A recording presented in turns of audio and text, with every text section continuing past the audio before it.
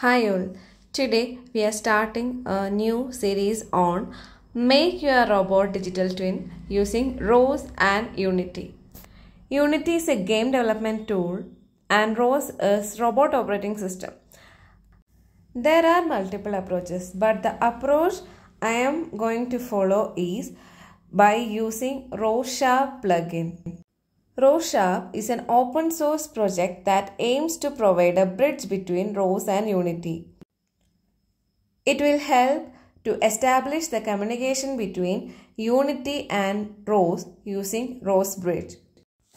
Since this is not a Unity series, I will be focusing more on the ROS communication between Unity and ROS. So, please install Unity Hub and Unity by yourself. I will mention the versions I am using. I have installed Unity Hub 3.4.1 and the editor version I am using is this. You can install the same.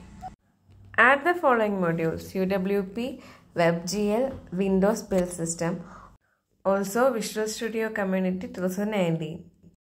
If you have the environment ready, you can open Unity Hub. Click on New Project.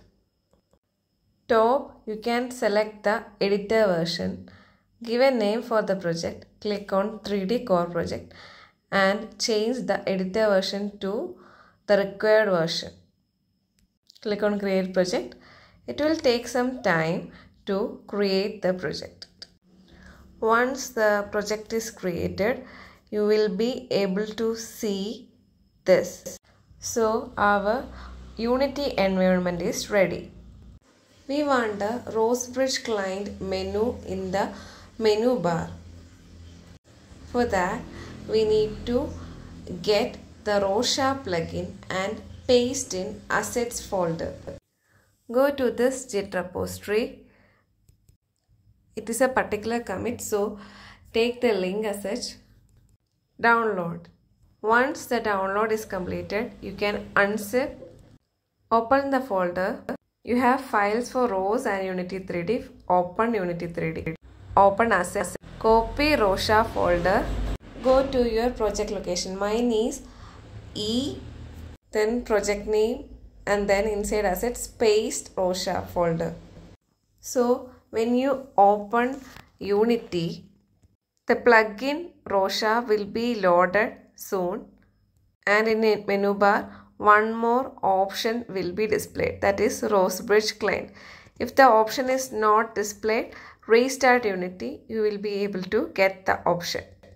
If you are not getting the option, check the editor version, Unity Hub version and then make the same.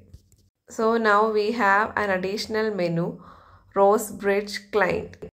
So using this menu, we will be getting the options to transfer URDF to Unity World, transfer URDF to ROS, etc.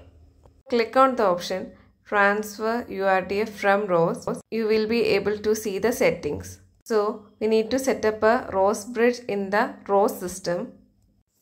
Give the location where we want to save the URDF.